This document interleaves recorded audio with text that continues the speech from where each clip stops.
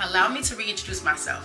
My name is Queen Nina Freelove, aka Rookie of the Year, aka Chef Lady, aka Get Ready to Be Sick of Me.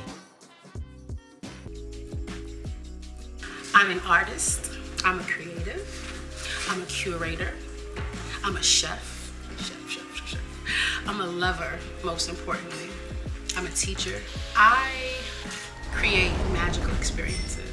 The vision for my life and what it is that I do is to, to reignite the love in every soul that sits down to my table. Because if I did not make somebody feel like they can taste the love in my food, then I did not do my job.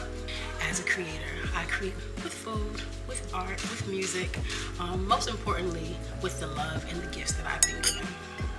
So everything that we do is hospitality. From the food to the beverage to the planning. We create a scenario where our clients can say, date, this is what I need, show up and forget about everything. But if you have one company that is committed to you, gives good service, quality, I love whiskey. So I made an old fashioned, but I did a love experience twist on it.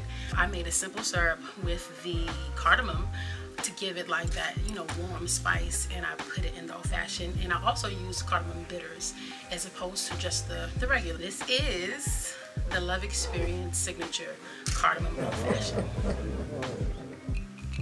I'm building a brand that is a stand for love, a stand for connection and inspiring the masses to put the love back into food. I'm not in the business of just satisfying palates, I'm in the business of satisfying souls.